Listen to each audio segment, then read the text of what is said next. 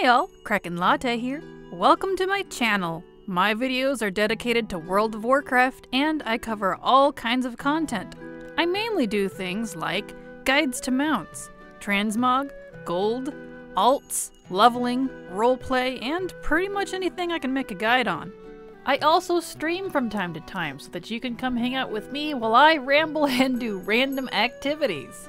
More types of content may be sprinkled in, but all of it will be related to World of Warcraft. Thanks for watching, and remember, it's never too latte.